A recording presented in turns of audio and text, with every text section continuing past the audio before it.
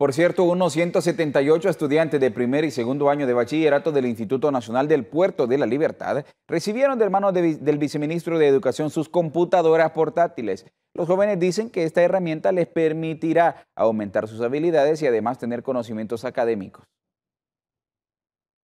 Con la firma de su madre en el documento que legitima la entrega de computadora, José Luis garantiza su proceso de aprendizaje antes de llegar a formarse en una universidad. Con esto podré entregar mis tareas, recibirlas, hacer ejercicios y ver ejercicios que, me ayuden en el estudio. Yo me siento feliz porque es algo que, que yo no puedo dárselo a él.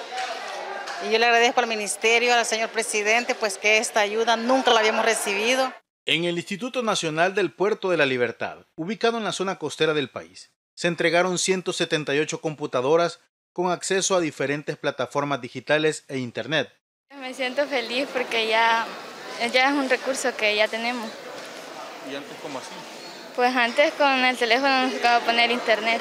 Tratar de usarla al máximo para completar mi potencial a nivel académico, ya que es un gran recurso el que nos han dado para poder completar todas nuestras metas. El viceministro de Educación Ricardo Cardona señala que esta acción es un complemento del nuevo esquema de formación.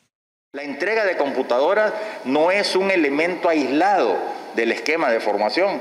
Nosotros consideramos que es la creación de un hábitat tecnológico que tiene que ver con la formación de los docentes en el manejo de plataformas digitales. El gobierno entrega de manera gradual a estudiantes y docentes del sistema público un aproximado de 1.3 millones de computadoras. Walter Morán, Noticiero El Salvador.